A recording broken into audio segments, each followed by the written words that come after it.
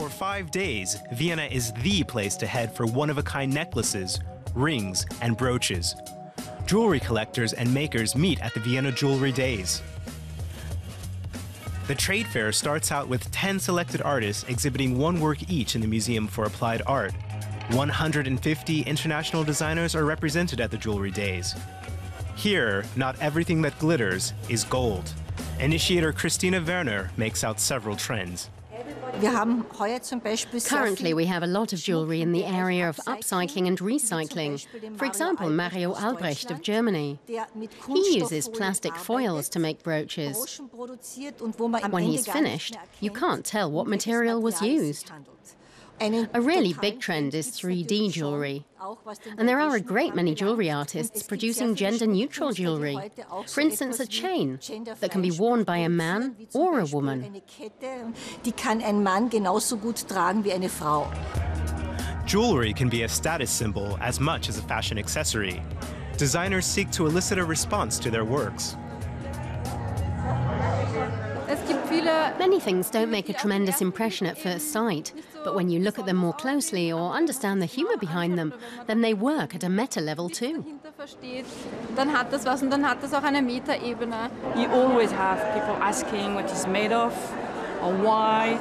And uh, so there is a kind of uh, conversation starting, and I, I like this.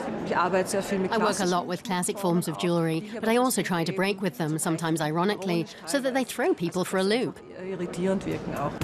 During the Viennese jewelry days, the artists are showcasing their designs in various places across the city. Their pieces range from necklaces from a 3D printer to bracelets made from horn. Michael Berger, a jewelry designer from Germany, is taking part in Vienna for the first time. His rings are rather out of the ordinary.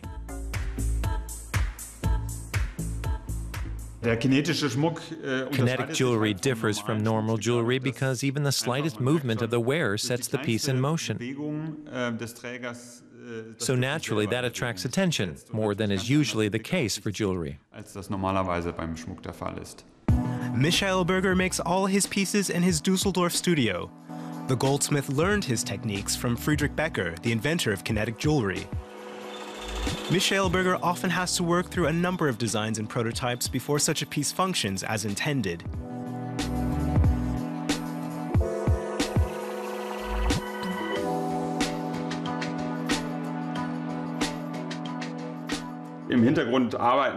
Unseen tiny ball bearings, axles, and screws are at work here.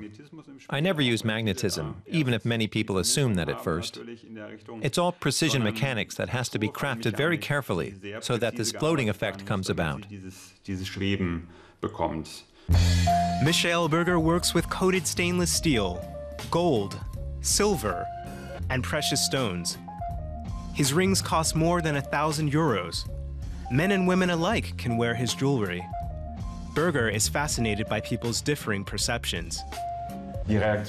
Responses are a bit polarized, I have to say. Some people say it's great, but it would drive me batty. Others say it really calms me down. So people have extremely divergent responses. But they definitely respond, and that's positive. This is a kind of jewelry that doesn't leave anyone cold. So I'm quite content, because it's not jewelry for just anybody. In addition to exhibitions, the program at the Vienna Jewelry Days includes talks and workshops. This is a great forum to present yourself and to meet other artists and people interested in the jewelry scene. For me, exhibiting in Vienna is something new. It's fascinating to see how the locals respond to my work. His show got off to a good start. The critics at the opening were nothing if not moved by Michael Berger's jewelry.